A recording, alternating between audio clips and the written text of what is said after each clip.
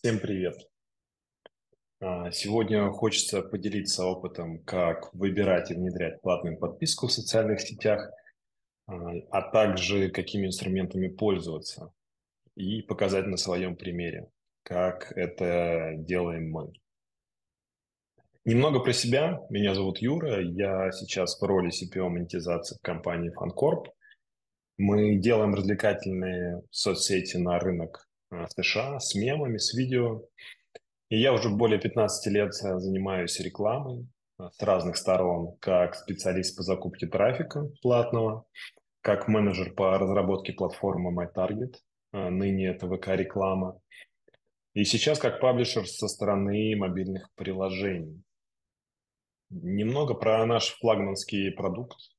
Это iFunny, развлекательная соцсеть с DAO более миллиона пользователей. И зарабатываем мы в основном с рекламы.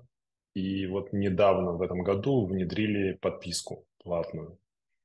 И хочу рассказать, как мы это делали.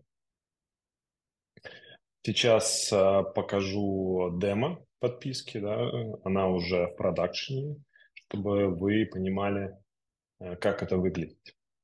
Открываем приложение. По сути, это лента контента и видео рекламой. А, и что мы видим? Мы видим точку входа премиум. На нее нажимаем, и перед нами Paywall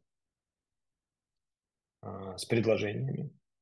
Мы сразу видим фичи, нажимаем, листаем, смотрим, что они означают.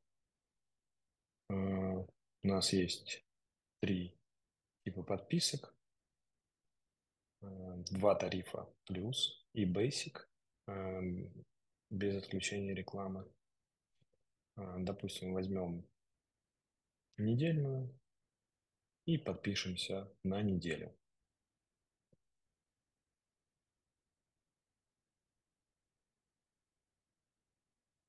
Отписались. Отлично.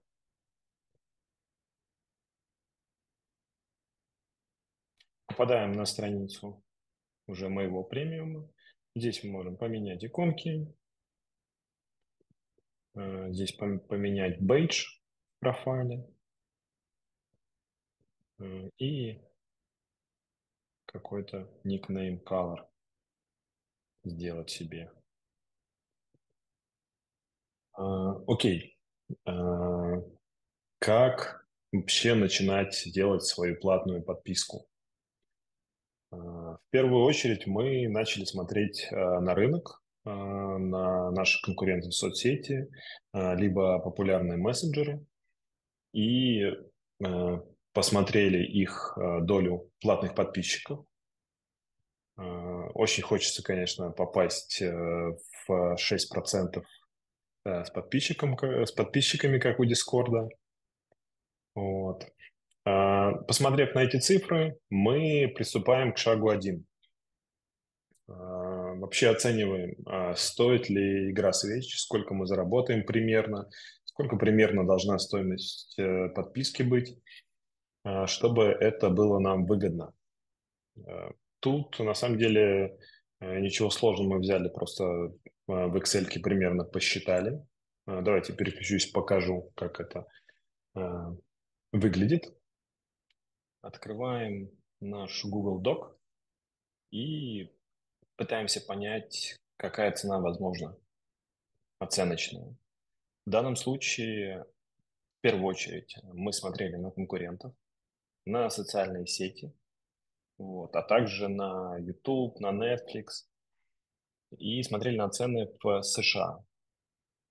И пообщавшись с людьми, мы поняли, что больше 8 долларов – это стоимость уже психологически э, неоправданно, да, то есть э, пользователи говорят, что я не готов платить э, за ваш продукт больше, чем за Netflix. Мы ее взяли за основу. А, рассчитали годовую, как умножить на 10, недельную, как разделить на 3. Отлично. А, также у нас есть э, месячный заработок от э, высокоактивных пользователей, э, тех, кто смотрит именно рекламу, сколько мы сейчас зарабатываем с пользователем. А, и теперь смотрим, при каких конверсиях нам вообще выгодно вводить эту подписку. Может быть, она, игра не стоит свеч. И была договоренность с руководством, что нам нужно показать прирост дохода не меньше 10% от общей выручки. А, смотрим, что у нас здесь. Допустим, мы берем 1% а, конверсии, вот, и так же, как, допустим, в Reddit. А, добавляем цифры MAU, пусть это будет 100 тысяч. Высчитываем количество подписчиков. Важно учесть также каннибализацию рекламы, да, то, что подписчики перестанут смотреть рекламу. И получается, что при одном проценте Э, конверсии в подписку, у нас получается 4% прирост дохода. Это маловато, поэтому изначально мы целимся 2,5%. Это и будет та цифра в 10% э, прироста. А в вашем случае э, может быть что угодно, э, другие цифры вы хотите больше, но мы примерно сориентировались так. И теперь посмотрели на конкурентов, да, в целом это чуть-чуть выше, чем у Твиттера, но достижимо. И на этом договорились. Теперь двигаемся дальше. Шаг 2. Какие же фичи нам делать? Первое, мы можем интуитивно сами решить, э, какие, какую функциональность мы хотим добавить, а, но также хорошо опросить пользователей, а, просто количественно, дать самым важным для нас пользователей э, просто опросники, э, можно Google формы, э, и спросить, что они хотят видеть в премиум версии. После этого, когда мы собрали какой-то список короткий, мы должны удостовериться, что действительно важно им, и тут уже включается количественный опрос. Э, слава богу, у нас э, в нашем продукте есть э, возможность делать количественные опросы, как вот на экране вот, появляется просто поп-ап с вопросом, вам интересна эта функциональность, либо нет. И отранжировав это, выбрав какой-то рейтинг, мы э, на самом деле э, должны еще нормировать это относительно дороговизны разработки. Да? И на самом деле э, в нашем примере мы убрали функциональность расширенную аналитику, потому что ее делать ну, там, около полутора месяцев, и это достаточно дорого и долго. Все, выбрали функциональность, э, выбрали фичи. Э, и третий шаг – это собрать команду. Э, мы вначале разрабатывали это на платформе iOS и собрали команду из iOS-разработчика, backend-разработчика, QA-тестировщика и продукт-менеджер. И это примерно у нас заняло разработка полтора месяца, еще два месяца АБ-теста и я покажу далее, почему э, так долго получилось. Итак, команда стартанула разработку. В это время у нас есть э, возможность э, проверить еще раз, правильно ли мы цены выбрали. На самом деле мы не знаем, Эм, то есть мы в финансовом планировании выбирали его минимальную адекватную стоимость для нас, а может быть она слишком велика или слишком мала. И мы знаем, что исследование цен через э, Каздев – это не рабочая история, потому что пользователи э, на вопросы о деньгах всегда отвечают неправильно. Поэтому мы решили протестировать эластичность цены, так называемую, пока разрабатывается сама подписка. Э, и что мы сделали? Э, мы э, запустили просто баннеры э, с разными ценами на разную аудиторию. И когда пользователи нажимали на эти баннеры, они попадали на страницу «Спасибо за интерес». И мы предположили, что самая высокая кликабельность, то есть CTR, будет коррелировать с нашей будущей конверсией. И выиграл средний вариант, как бы мы его и взяли за истину.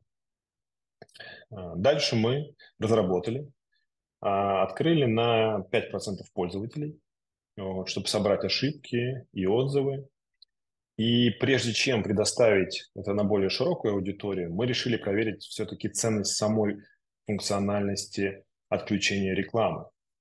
Э, и мы запустили на самом деле э, один и тот же Paywall, э, но они чуть-чуть отличались. То есть один тариф был без отключения рекламы, а другой с отключением, но по одинаковой цене. И получили, что конверсия тарифа с отключением рекламы выше, но на самом деле не кардинально. И в итоге мы решили на ходу сделать сразу же два тарифа для всех пользователей. И сейчас э, это приносит нам 20% э, дополнительных клиентов, те, кто купили базовый тариф без отключения рекламы. Э, очень важно акцентироваться на точках входах, да, либо онбордингах, вот, потому что пользователи ленивые часто принимают спонтанное решение о покупке подписки, особенно в социальных сетях. А, и одна из точек входа, такая как сохранение видео, произвела на самом деле фурор по конверсиям. Вот, 30% э, процентов подписок а, приходит именно с этой точки входа. То есть пользователь хочет сохранить видео, и за это ему нужно заплатить. И он в моменте готов это сделать. И на самом деле далее мы раскатили уже на 100% аудитории нашу э, подписку. Как видно на графике, э, мы до сих пор э, не вышли на плату подписок спустя пару месяцев, и количество подписчиков постоянно увеличивается. А, казалось бы, все. Можно уходить и собирать деньги, ну но нет. Это только часть пути, на самом деле. дальше идет э, большая, кропотливая работа.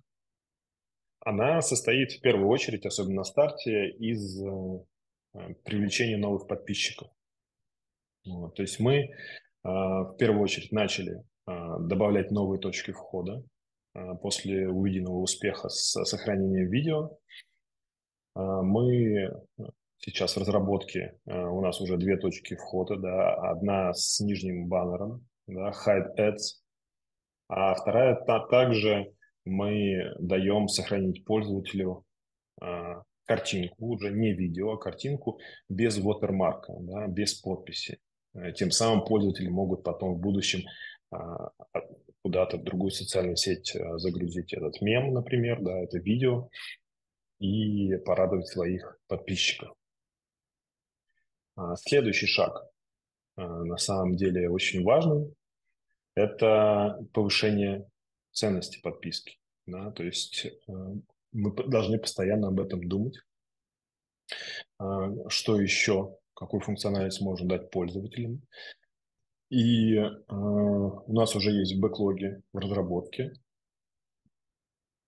новые фичи, а, первое – это добавляем, мы добавляем внешние ссылки из профиля. Сейчас их нет. И для подписчика будет возможность добавить ссылку на свою другую социальную сеть, либо на свой профайл, а, либо на какой-то магазин. А, и сейчас вторая за ней э, идет функциональность папки в коллекциях. То есть у нас по умолчанию, когда ты можешь сохранить свою папку какой-то мем, либо видео, у тебя не больше, не более трех папочек. И если ты хочешь четвертую, э, то подпишись э, на платную премиум подписку, и у тебя будет э, бесконечное их количество. На самом деле ситуация с повышением ценности, она везде работает. И у меня была такая же ситуация что недавно Telegram свой премиум добавил возможность добавлять теги в избранную, да, в папку избранную. Я там сортирую очень много всего, и когда они добавили функциональность, это, по сути, было последним триггером, толчком к покупке премиум. Следующий шаг. А, работаем с дизайном Paywall, да, и с типами подписок по времени. То есть кому-то может подойти недельная, кому-то месячная, кому-то трехмесячная. И вы должны определить, а, какая из подписок вам больше всего приносит денег. А, когда вы определили, вы уже можете делать АБ-тесты. Вот. Также дизайном Paywall. Вы можете добавить какие-то отзывы туда, вы можете немножечко переверстать страницу, вот. И на, на самом деле по, а, по рынку я смотрю, и ребята, э, эксперты, так сказать, говорят, что 20-30% конверсии в подписку с Paywall а, можно а, сделать, можно увеличить. И на самом деле, как работать с этим? Ну, здесь есть три варианта. Делать постепенно АБ-тесты, проходить ревью сторов. Но это долго по времени. То есть, по сути, а, вместо двух месяцев АБ-теста а, вы будете заниматься этим 6 месяцев. Это не очень хорошо. Поэтому есть другие варианты. А, сделать свою in-house технологию, да, которая позволяет быстро тестировать ваши paywall без прохождения ревью сторов в iOS либо в Android. А также третий вариант – не пилить свою, а воспользоваться внешними платформами для этих АБ-тестов. На самом деле э, вы устанавливаете SDK у себя в приложении и э, смотрите аналитику там э, и э, делаете АБ-тесты Evolve. И на самом деле этот рынок э, большой, да, есть лидеры на нем. Это Adapti, это Purchasely, это Revenue Cat. Э, давайте я просто покажу вам пример, э, как это выглядит. Рассмотрим внешнюю платформу, которая позволяет нам делать АБ-тесты и модернизировать paywall автоматически. Что у нас здесь есть? А, здесь на самом деле а, есть аналитика, то есть мы как раз-таки через нее понимаем, какие у нас типы подписок месячные, недельные или годовые больше нам приносят дохода. В целом эта аналитика несложно собирается и внутри, вот, но здесь уже есть интерфейс. А, что самое интересное здесь, это no-code builder, да, когда мы сами просто через интерфейс а, создаем разные вариации а, нашего paywall без выкатки в store, без ревью. И в этом на самом деле основное преимущество. Также здесь есть таргетинги, то есть мы можем на определенный регион, на определенную страну а, показывать разные paywall, а, включая показ разных цен. Вот. И это достаточно удобно. В чем минус, что действительно нужно интегрировать SDK, вот. И это может эм, занять больше времени, а может быть столько же, сколько э, создание своей платформы. Это уже нужно решать самому. Ну, есть еще куча э, подобных сервисов, которые позволяют это делать. Выбор за вами. Мы, например, э, сейчас как раз оцениваем, что лучше делать, э, интегрировать систему или же делать самому. А, мы сделали три основные вещи после а, раскатки нашей подписки. И теперь можно, когда у вас уже низковещащие плоды сорваны и уже накопилась база отписавшихся, да, те, кто попробовали вашу подписку, можно и нужно работать на удержание и возврат пользователей а именно делать триггерные предложения какими-то скидками. И э, приведу пару примеров э, с триггером. Да. Вы можете э, трекать автоматическое продление, отключение автоматического продления у пользователей и за час, за сутки до окончания подписки предлагать ему какую-то какую-то скидку, либо какой-то реальный период. Можно это показывать в push-уведомлении, можно прямо внутри продукта.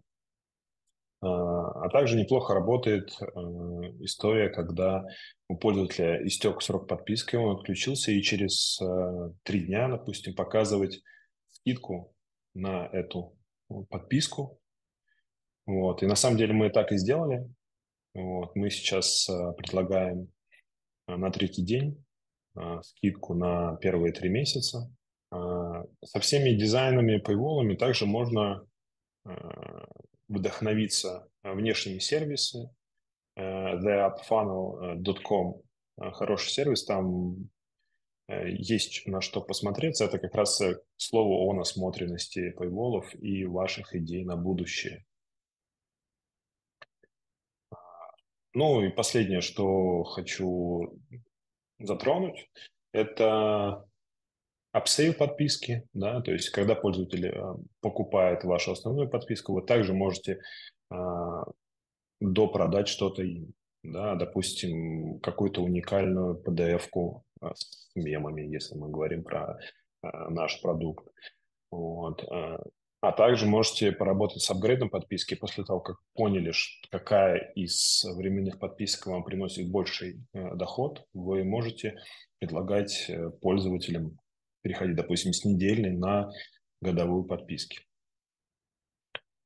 И э, хочу сейчас приступить э, к истории неуспехов, да, то есть э, даже крупные игроки, они постоянно тестируют, э, и у них тоже могут быть ошибки, да.